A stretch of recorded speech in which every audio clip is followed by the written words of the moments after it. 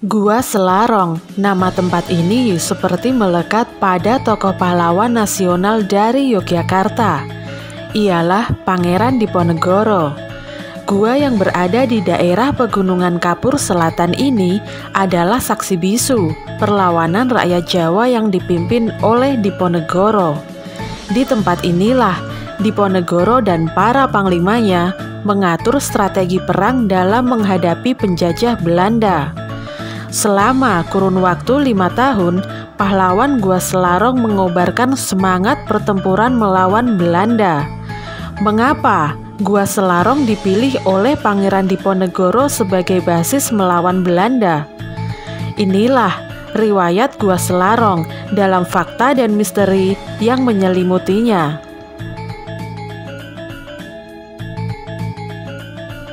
Tersembunyi dan terpencil, mungkin kesan itulah yang didapatkan oleh bangsa Belanda saat melukiskan kawasan Gua Selarong pada tahun 1825.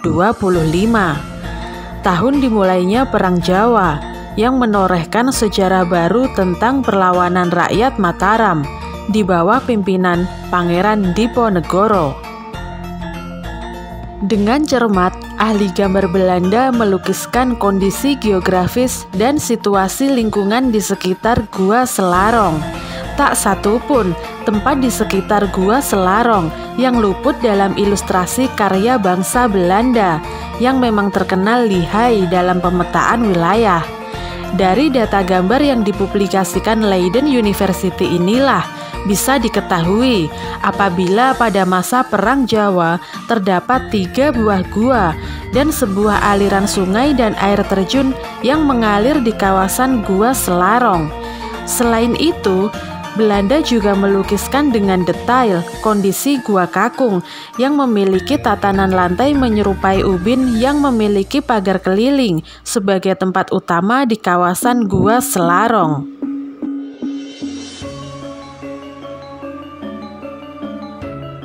Kini, setelah hampir 200 tahun berlalu, kondisi Gua Selarong seperti telah berubah segalanya. Saat kaki kita melangkah masuk ke dalam gua, banyak pertanyaan dalam hati. Seperti inikah kondisi saat Pangeran Diponegoro mendiami gua ini?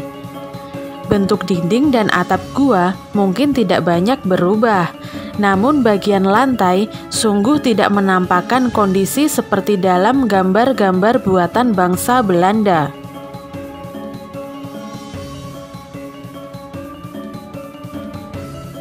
Beranjak ke Gua Putri, konon Gua Dangkal ini dipergunakan oleh istri selir Pangeran Diponegoro. Bagian dalam Gua Putri ini kondisinya malah lebih memprihatinkan lagi lantai batu kapur yang tidak rata, dan juga atap yang miring dan rendah tentu tidak akan nyaman untuk ditinggali dalam waktu yang lama. Apabila kondisi ini dianggap sama dengan kondisi masa Perang Jawa, tentu kondisi ini akan membuat kita terenyuh. Bayangkan, ketika seorang wanita bangsawan rela mengabdikan dirinya, hidup dalam keprihatinan dengan meninggalkan segala kemewahan demi sebuah nilai perjuangan.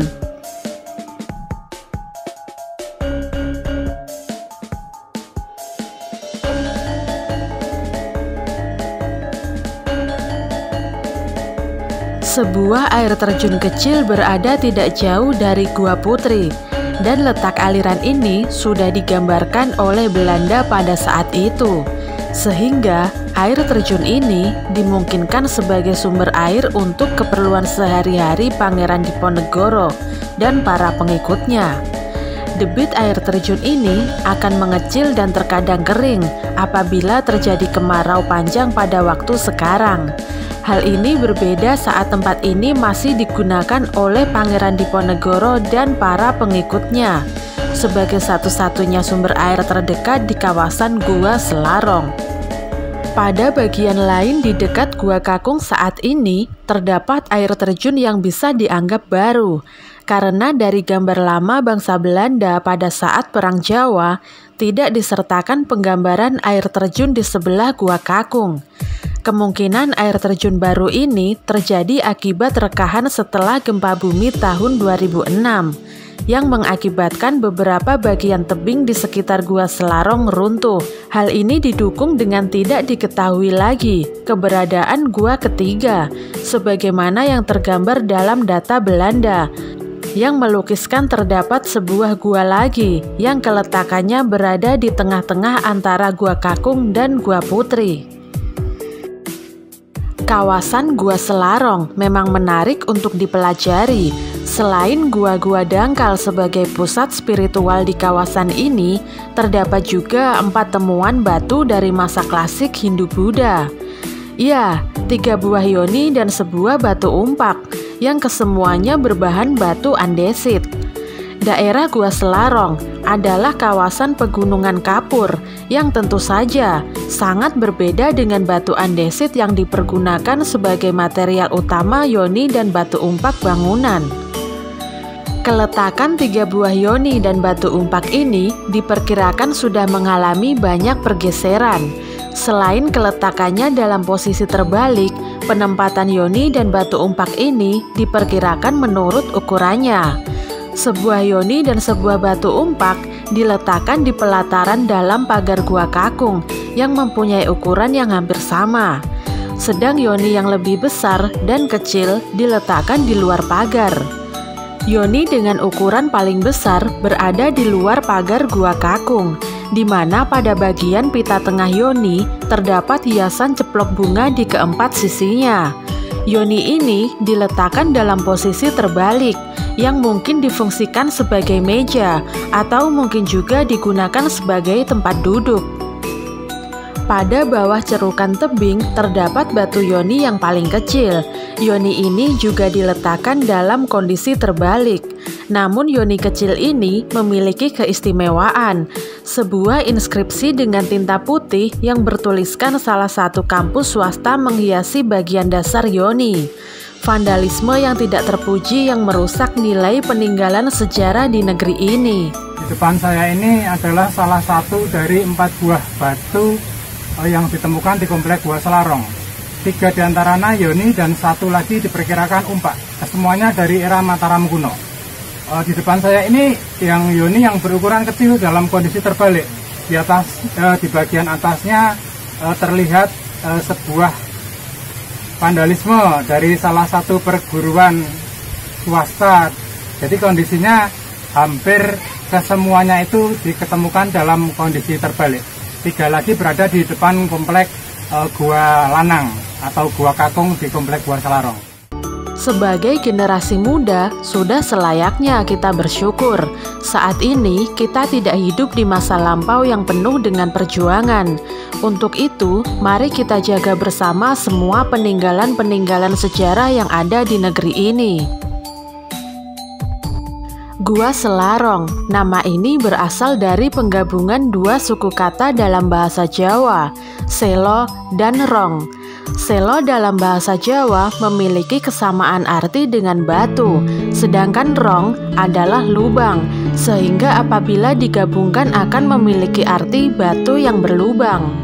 Batu berlubang ini dipercaya sebagai tempat semedi Pangeran Diponegoro yang memang terkenal dalam ilmu agama dan kebatinan.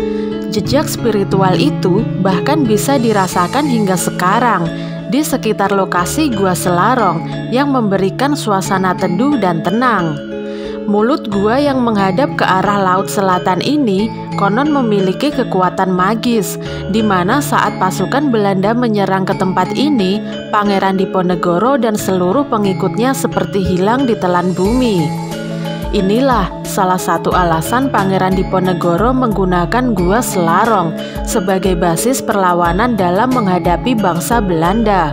Letak Gua Selarong yang menghadap ke arah laut selatan ditambah dengan bekas pertapaan kuno semakin menghidupkan nilai magis di tempat ini. Bahkan hingga saat ini, pada malam-malam tertentu, masyarakat sekitar Gua Selarong masih sering mendengar alunan gamelan dan juga ringkikan kuda yang disertai dengan derap kakinya.